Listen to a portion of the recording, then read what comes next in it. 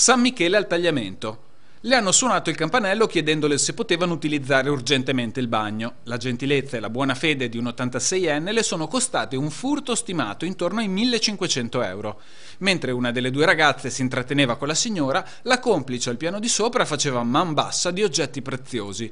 Le due si sono poi allontanate a bordo di un'auto nella quale li attendeva una terza persona.